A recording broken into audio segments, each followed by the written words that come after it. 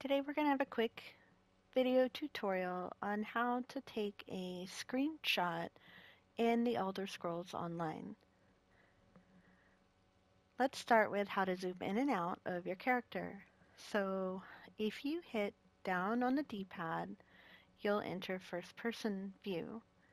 You can hit it again to get back into third person. If you hold down on the D-pad and push forward with your right stick or back with the right stick while holding down on the D-pad, you will zoom in and out of your character.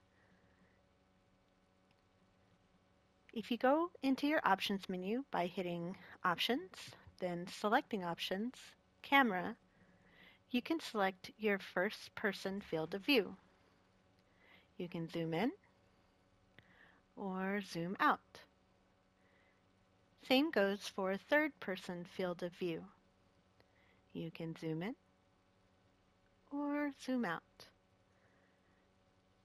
These options here will change where you are on your screen, off center, and the like. I prefer it right in the center.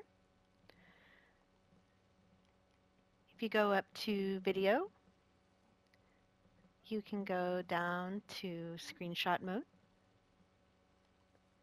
which will take away your interface. You can take nameplates on or off by hitting triangle, which removes names and health bars above NPCs or yourself.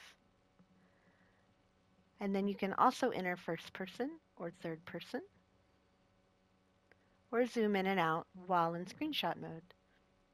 You're just not able to interact with doors or lights music boxes, things like that. While in screenshot mode,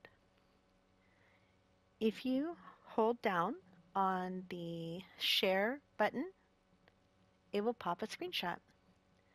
And you can upload that screenshot to PSN or to your phone, things like that. Anyway, that's it for this video. I hope you found it helpful. Thank you for watching.